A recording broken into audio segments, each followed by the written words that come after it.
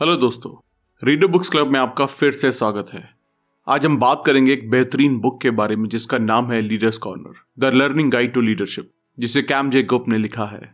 इस किताब में एक पिता अपने बेटे को बताते हैं कि कैसे उन्होंने 11 कोर गोल्डन रूल्स और प्रिंसिपल्स फॉलो करके लोगों के बीच इतना नाम और शोहरत कमाई। ये एक ऐसी किताब है जो पूरी तरह आपकी ज़िंदगी बदल देगी और आपको नाम, शोहरत और सफलता के रास्ते से कभी भटकने नहीं देगी। इससे पहले भी ऑथर दो और बेहतरीन बेस्ट सेलिंग किताबें लिख चुके हैं। Make your time right and I am online इन सभी किताबों के लिंक डिस्क्रिप्शन में दिए गए हैं। इमीडिएटली बुक को ऑर्डर करके इनको और भी डिटेल में समझें। चैनल को इमीडिएटली सब्सक्राइब करें और वीडियो को भी इमीडिएटली लाइक कर दें। ऑथर अपनी इस कोट को बहुत मानते हैं, जहाँ वो कहते हैं people are for people and it should always be like that और उन्होंने अपने 20 साल के लंबे करियर में अब तक बहुत लोगों को उनके ड्रीम को अचीव कराने में मदद की है। साथ साथ बहुत से लोगों को एक बेहतरीन लीडरशिप पोजीशन तक पहुँचाने के लिए भी गाइड किया है।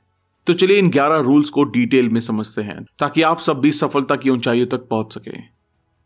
Rule number one leader in making सबसे पहले जो चीज़ आपको समझनी है, वो ये है कि एक लीडर कौन होता है। एक लीडर की क्या डेफिनेशन है और क्वालिटी क्या है? एक लीडर पहले खुद को अंदर और बाहर से पहचानता है, फिर अपने गोल्स और विजन को बनाता है। उसके बाद वो उन लोगों को पहचानता है जो उनके लिए, उनके विजन और आइडियाज़ पर काम करे। वो सिर्फ़ उनको पहचानता है जिनकी सोच और ख्याल उनसे मिलते हैं। एक लीडर कभी भी दूसरों पर वो करने का दबाव नहीं डालता है जो वो चाहता है, बल्कि वो अपनी टीम को सुनता है और उनके नज़रिए और ख्यालों को शेयर करने के लिए इनकरेज करता है। उसे अपने प्लान्स और एक्शंस पर कोई शक नहीं होता। वो अपने फैसलों की पूरी ज़िम्मेदारी लेता है। वो एक फेथ और बिलीफ का माहौल बनाता है। और लोग ऐसे माहौल में एक दूसरे के नज़रिए की कदर करते हैं और एक दूसरे को सपोर्ट करते हैं। वो लोगों की तारीफ़ या क्रिटिसाइज करने में नहीं शर्माते हैं। कोई भी लीडर पैदा नहीं होता। ऐसी अनगिनत कहानियाँ हैं, जिनमें लोग कुछ ही पलों में सफलता को पा लेते हैं। पर सिर्फ़ वही लोग जानते हैं कि उस पल को पाने के लिए वो कब से मेहनत कर रहे हैं।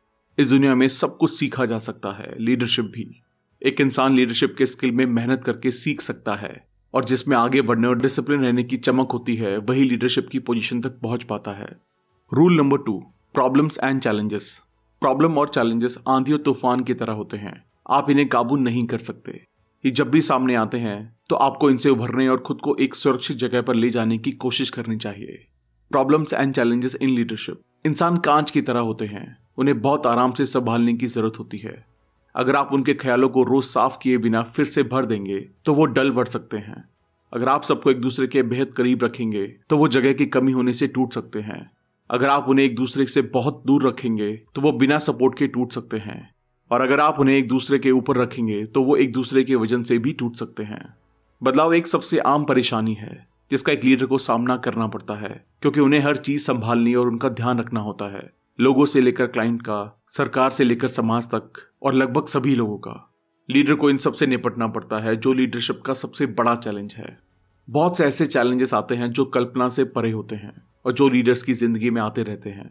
इन चैलेंजेस से बचने का कोई रास्ता नहीं है, बस लगातार सीखते रहना और समझने से ही इन सबसे निपटा जा सकता है।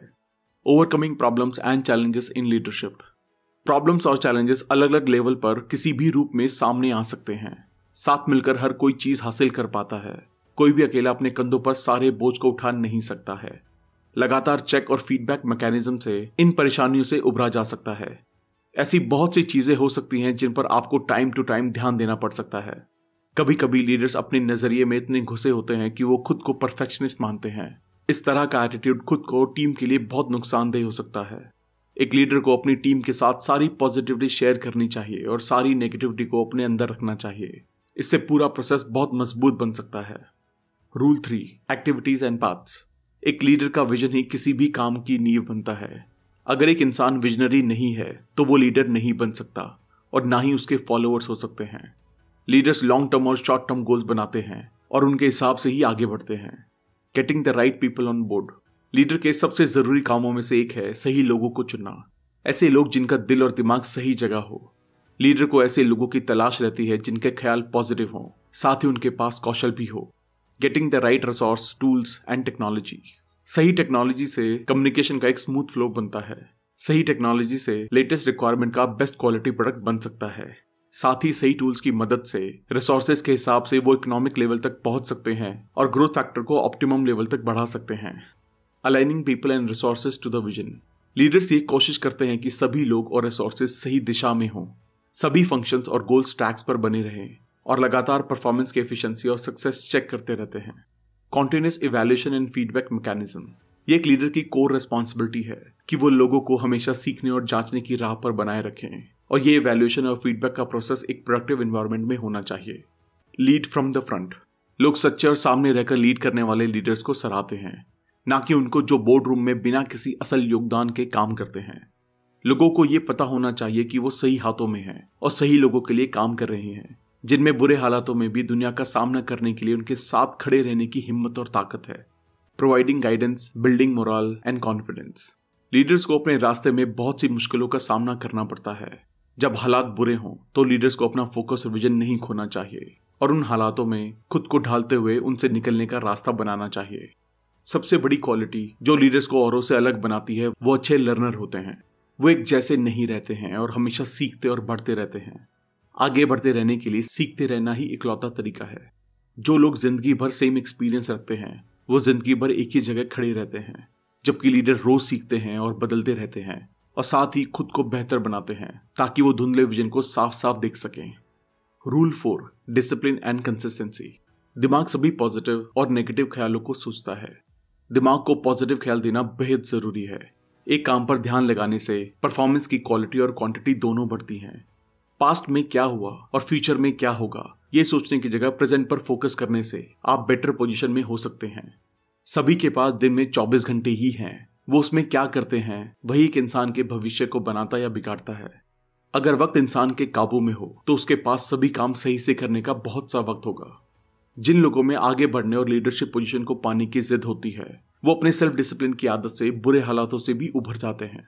सेल्फ डिटर्मिनेशन और डिसिप्लिन से लीडर्स ऐसी आदतें और कैरेक्टर बना लेते हैं, जिससे वो अपने काम की ओनरशिप लेते हैं और जो भी वो करते हैं, उसकी पूरी ज़िम्मेदारी भी लेते हैं। रूल फाइव इमोशंस हमारे अंदर लगातार इमोशंस बहते ही रहते हैं। बस कुछ लोगों में ये थोड़े ज़्यादा और कुछ लोगों में थोड़े कम हो सकते हैं। इस दुनिया में सब कुछ लोगों की मदद से होता है और लोग भावनाओं के आधार पर काम करते हैं और ये भावनाएँ किसी इंडिविजुअल के एक्शन से बनती हैं। लीडर्स कोई भी इमोशन दिखाते हुए बहुत ख्याल और सावधानी रखते हैं, क्योंकि उनका एक गलत कदम और कमज़ोर इमोशन सालों के बनाए साम्राज्य को मिट्टी में मिला सकता है। जब चीज़ें सही नहीं जा रही हों तो इतने प्रेशर में भी इमोशंस को काबू में रखने के लिए बहुत स्किल और प्रैक्टिस की ज़रूरत पड़ती है। हाउ टू कंट्रोल इमोशंस किसी भी अच्छे बुरे हालातों में कोई भी रिएक्शन देने या कोई इमोशन दिखाने से पहले एक सेकेंड का पॉज लें और उसके इफ़ेक्ट के बारे में सोचें। किसी नेगेटिव सिचुएशन में उन चीज़ों पर ध्यान ना दें जो आपके काबू में नहीं है। सिर्फ़ उन पर ध्यान दें जो आपके काबू में है। उस पल में जिए, सभी फैसले प्रेजेंट एनवायरमेंट में लें। अगर आप पास सिनेरियोस पर अपने इमोशंस को आधारित करेंगे तो इससे प्रेजेंट को नुकसान पहुंचेगा। दिमाग और इमोशंस को काबू करने से हालात बदले जा सकते हैं।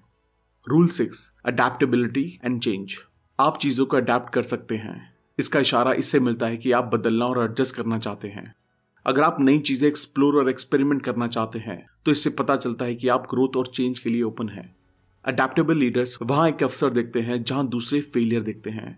जो भी एक ही चीज़ से चिपका रहता है और हालात के हिसाब से बदलता नहीं है, वो सिर्फ़ नुकसान और फेलियर का सामना करता है। कोई भी हालात या चीज़ें जब काबू से बाहर हो जाती हैं तो अडेप्टेबल लीडर्स उसी में अपना फोकस एडजस्ट करने की कोशिश करते हैं। वो खुद से बात करते हैं और चुनने के लिए ऑप्शंस देखते हैं। वो अपनी गलतियाँ मानते हैं और उनसे सीखते हैं। दूसरों पर इल्ज़ाम ना डालकर, वो अपने बेहतर बनने के एरियाज़ को मानकर मज़बूत लॉन्ग टर्म रिश्ते बनाते हैं। अडेप्टेबल लीडर्स बदलाव में भरोसा रखते हैं। बदलाव लाने के लिए आपको प्रेजेंट सिचुएशन को समझना होगा और फ्यूचर पोजीशन को भी जहाँ आप होना चाहते हैं। साथ ही उस बदलाव से होने वाले असर को भी। अडेप्टेबिलिटी और चेंज स्ट्रेंथ परसिस्टेंस और क्विक डिसीज़न मेकिंग का इशारा है। Rule seven integrity and stability सभी बेहतरीन लीडर्स में हाई लेवल इंटीग्रिटी होती है। मुश्किल वक्त और चुनौतियों में पहाड़ की तरह खड़े रहना मुश्किल होता है। पर वो खुद को ऐसे ढालते हैं चाहे सामने कुछ भी आए। वो अपने रास्ते से नहीं हिलते हैं। वो टीम के इनपुट और आउटपुट की कदर करते हैं। इससे ऐसी टीमों को लीड करना आसान होता है जो लीडर के फैसले और एक्शन पर भरोसा रखते हैं। इससे वो वक्त बर्बाद करने की जगह काम पर ध्यान दे पाते हैं। वो अपनी बात को ओपन और सीधा रखते हैं। स्टेबिलिटी से लीडर्स को अपने आसपास के लोगों से एक लॉन्ग टर्म और प्रोडक्टिव रिलेशनशिप बनाने में मदद मिलती है। इससे भरोसेमंद रिश्तों का माहौल बनाने में भी मदद मिलती है। Rule eight critics and negative thinker leaders को बहुत तरह के लोगों से निपटना पड़ता है। हर इंसान की अपनी राय और अपना नज़रिया होता है। ज़रूरी नहीं है सब लोग जिनसे भी वो मिलें, वो उनकी तरफ़ हों। कुछ उनके खिलाफ हो सकते हैं और कुछ उनके साथ। एक लीडर को क्रिटिसिज्म का शांत रहकर सामना करना चाहिए। इससे लोग उन्हें ज़्यादा पसंद करते हैं और उन पर ज़्यादा भरोसा रखते हैं। ख्यालों का ज़िंदगी बनाने और बिगाड़ने में अहम रोल है। अगर एक इंसान के ख्याल पॉजिटिव हैं तो वो उसे सफलता की राह पर ले जाएँगे। और अगर किसी इंसान के ख्याल नेगेटिव हैं तो वो उसे फेलियर की राह पर ले जाएँगे। एक लीडर को इन ख्यालों का खास ध्यान रखना होता है। अगर उसे नेगेटिव ख्याल आए या नेगेटिव दिशा में जाने लगे तो वो और आगे नहीं बढ़ पाएँगे। और हो सकता है अपनी करंट पोजीशन भी खो दें, जो उन्होंने कड़ी सालों की मेहनत और पॉजिटिविटी के साथ पाई थी। नेगेटिव थॉट्स सेंसिबल और रिस्पॉन्सिबल फैसले लेने से रोकते हैं। नेगेटिव थॉट्स कई बार एक इंसान को किस्मत पर डिपेंड कर देते हैं। हालाँकि मेहनत के साथ किस्मत में भरोसा रखना और बिना कोई काम किए भरोसा करने में फ़र्क होता है। एक नेगेटिव माइंडसेट के साथ एक आदमी अपनी असल हालत नहीं देख पाता है। उसे अक्सर यही महसूस होता है कि उसे किसी बदलाव की ज़रूरत नहीं है। जब एक इंसान बिना दूसरों को जिम्मेदार बताकर अपनी गलतियों को मानता है, तभी वो नेगेटिव माइंडसेट से बाहर आ सकता है। एक बार इंसान परेशानी की जड़ को समझ ले तो वो ब्लेम गेम खेलने की जगह परेशानी को खत्म करने की कोशिश करता है। एक बार इंसान कोर प्रॉब्लम समझ ले तो वो उसके रेजोल्यूशन तक पहुँच सकता है। Rule nine time management time management की सबसे ज़रूरी बात यह है कि टाइम लीकेज को फिक्स करना, जिसका मतलब है कि तुरंत उन कामों को बंद कर देना, जिसमें आपका वक्त गोली की तरह जाता है, और जिसे हम टाइम किलर कह सकते हैं। वो जाने अनजाने में वक्त बर्बाद करते हैं। अगर एक इंसान समझदारी से सही फैसले ले तो ये वक्त बचाने का सबसे अच्छा तरीका हो सकता है। लीडर्स को भी सही फैसले जल्द ही लेने होते हैं। कोई भी जो बिना सोचे समझे और प्लान किए कोई काम करता है, वो बाद में पछताता है और फिर उस काम को करने में बहुत सा वक्त बर्बाद करता है। सबसे बड़े टाइम किलर में से एक है किसी काम को बिना किसी कारण के टालना। जिस भी इंसान को ये टालने की बीमारी होती है, वो अपने किसी भी काम को कभी भी वक्त पर पूरा खत्म नहीं कर सकता है। टास्क डिफाइन होने चाहिए, उनकी वैल्यू और इंपॉर्टेंस के बेस पर उनको टाइम स्लॉट में अलॉट किया जाना चाहिए। अगर लो वैल्यू टास्क को ज़्यादा टाइम और हाई वैल्यू टास्क को कम टाइम दिया जाएगा तो आखिर में वक्त की बहुत बर्बादी होगी। किसी काम पर बिना ध्यान दिए गई मेहनत से उस काम को पूरा करने में डबल टाइम लगता है। जब भी कोई काम से दूसरे पर छलांग लगाता है और फिर से पिछले काम को करता है, इसमें बहुत सी एनर्जी जाती है। साथ ही काम को दोबारा से शुरू करने में बहुत सा दिमाग भी लगता है। वक्त की सबसे ज़रूरी चीज़ ये है कि किसी काम को करने से ज़्यादा वक्त उस काम को सोचने में लगता है और अक्सर लोगों को काम लिए बैठे रहने की आदत होती है। एक बार इंसान काम की अहमियत समझकर टास्क लिस्ट बनाना सीख ले तो वो अपने प्रेजेंट और फ्यूचर का बहुत सा वक्त बचा सकता है। लीडर्स को अपनी पर्सनल और प्रोफेशनल ज़िंदगी में संतुलन बनाकर रखना होता है। अगर वो ऐसा नहीं कर पाते हैं तो इससे उनके और उनके परिवार पर नेगेटिव असर पड़ता है। कोई भी इंसान अपने काम और प्रोफेशनल लाइफ की कीमत पर अपने परिवार को खोना नहीं चाहता। इसलिए एक लीडर समझदारी से अपनी ज़िंदगी के हर इंसान को अपना वक्त देता है। Rule ten vision courage and relation vision followers और टीम्स को आगे बढ़ने की दिशा देता है। इससे दिमाग एक मकसद की तरफ़ फोकस रहता है। विजन के आधार पर क्लियर गोल्स और टारगेट टीम के फॉलो करने के लिए स्टैंडर्ड एंड प्रोटोकॉल सेट करने में मदद करते हैं। विजन के साथ एक लीडर फैसला करता है कि उसे कौन से साधन और लोगों की ज़रूरत है। विजनरी लीडर्स और टीम्स का एक एक्यूरेट रोल और स्ट्रक्चर होता है। उनके पास आगे बढ़ने का एक साफ़ रास्ता होता है। डिफाइंड पाथ और गोल्स के होने से नेगेटिविटी नहीं होती है और लोगों के रिश्ते मज़बूत होते हैं और विजन की मदद से सही गाइडलाइंस और फोकस मिलता है। एक विजनरी माइंड हमेशा एक कदम आगे की सोचता है। एक अलग और बड़े विजन के साथ लीडर तेज़ी से आगे बढ़ते हैं। अगर कोई बढ़ना और टॉप पर रहना चाहिए तो ये वो एक खासियत है कि इंसान को हमेशा सीखते और आगे बढ़ते रहना चाहिए। एक ख्याल आना और एक सपने देखना सबसे पहला स्टेप होता है। अगर एक लीडर एक मीनिंगफुल ड्रीम देखने की हिम्मत करे तो वो खुद के और दूसरों के लिए एक विजन बना सकता है। बिना दिमाग में बनाए कोई भी आइडिया हासिल नहीं किए जा सकते हैं। शुरू में ये मंजिल से बहुत दूर लग सकता है, और ऐसा लग सकता है कि इस सपने को हकीकत बनाना लगभग नामुमकिन है। लीडर्स अपने दिमाग के आइडियाज़ और अपने सपनों के बारे में लगातार सोचकर और उनके बारे में बात करके उन्हें आकार देते हैं। एक बार एक आइडिया मज़बूत विजन बन जाए तो उसके बाद बारी आती है उसे शेयर और उसके बारे में बातचीत करने की। आपको इस आइडिया को जितने लोगों के साथ हो सके शेयर करना होता है। इससे बेसिक कॉन्सेप्ट और आइडिया वैलिडेट होता है। जब लीडर्स इस दौर से गुजरते हैं और उनके आइडियाज़ और विजन का लोगों पर एक गहरा असर पड़ता है तो इससे उन लोगों और लीडर की ज़िंदगी बदलने में मदद मिलती है। करेज यानी कि साहस एक ऐसी चीज़ है जिससे इंसान को रिस्क लेने और सीमाओं को लांगने टॉप पोजीशन पाने और डर से ऊपर उठने में मदद मिलती है। साहस ही विनर्स को लूजर से अलग करता है और यही खासियत लीडर्स को फॉलोअर से अलग करती है। बिना साहस के लीडर बनना लगभग नामुमकिन है। जिन लोगों में साहस की कमी होती है, वो कभी सफल नहीं हो सकते हैं। साहसी लीडर हमेशा भरोसा लेकर चलते हैं और लोगों को प्रभावित करते हैं। अगर एक इंसान रिस्क फ्री लाइफ जीता है तो उसके आगे बढ़ने के मौके भी कम हो जाते हैं। लीडर्स अपने साहस के कारण ही कैलकुलेटेड और बोल्ड रिस्क लेते हैं, जिससे उन्हें टॉप पर पहुँचने में मदद मिलती है और इसी से लोग भी प्रभावित होते हैं। रिलेशंस लीडरशिप का असली मतलब है रिश्ते बनाना और उन्हें निभाना। वो जितना अच्छे से रिश्ते बनाकर उन्हें निभाते हैं, उसी से उनके फॉलोअर्स बनते हैं। लीडर्स हमेशा लोगों से मिलने जुलने और लॉन्ग टर्म रिलेशनशिप बनाने के लिए उत्सुक रहते हैं। वो हमेशा अपने शब्दों का मान रखते हैं। वो सिर्फ़ वही कमिट करते हैं जो किया जा सके। और इसी से एक भरोसेमंद रिश्ता बनता है। Leaders are natural networkers leaders natural networker होते हैं। लीडर्स दूसरों से रिश्ता बनाने के लिए हमेशा एक पॉजिटिव अप्रोच रखते हैं और हमेशा नेगेटिव एलिमेंट को इग्नोर करते हैं। वो कनेक्शन और रिलेशनशिप की वैल्यू जानते हैं। इसलिए वो किसी से रिश्ता बनाने में हिचकिचाते नहीं है। वो हमेशा अनजानों से बात शुरू करने का तरीका ढूंढते रहते हैं। Rule eleven goals and ambitions leaders के पास विजन होता है और उस विजन को बनाने के लिए उन्हें गोल्स बनाने पड़ते हैं ताकि एक दिशा मिल सके। गोल सेट करना बहुत ज़रूरी है।